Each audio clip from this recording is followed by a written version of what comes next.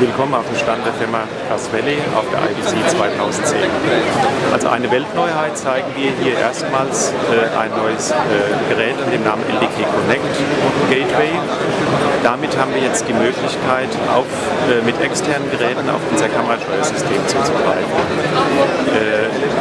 Äh, wir können damit zum Beispiel von unserem Cayenne Mischer direkt Kamerafunktionen vom Mischer aufrufen, wie zum Beispiel Filterradsteuerung, äh, Szenenspeicher können wir aufrufen oder jegliche Art von anderer äh, Kamerafunktion.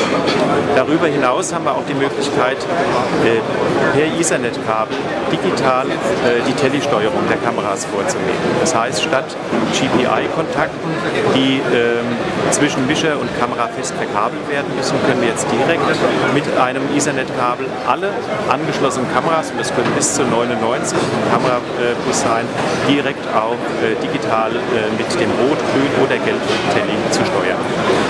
Aber darüber hinaus können wir auch mit externen Geräten auf unseren Kamerabus äh, äh zugreifen lassen. Äh, zum Beispiel können Hersteller von Schwenk-Neigekopfsteuerung direkt in den Bediengeräten für die Schwenk-Neigekopfsteuerung auch Kamerasettings abspeichern.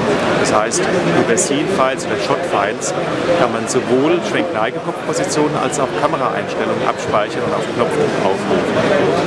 Aber vielleicht noch wichtiger ist die Möglichkeit, mit externen Systemsteuerungen, also Kreuzschienencontrollern und ähnliches, direkt auf die Kameraeinstellung zuzugreifen.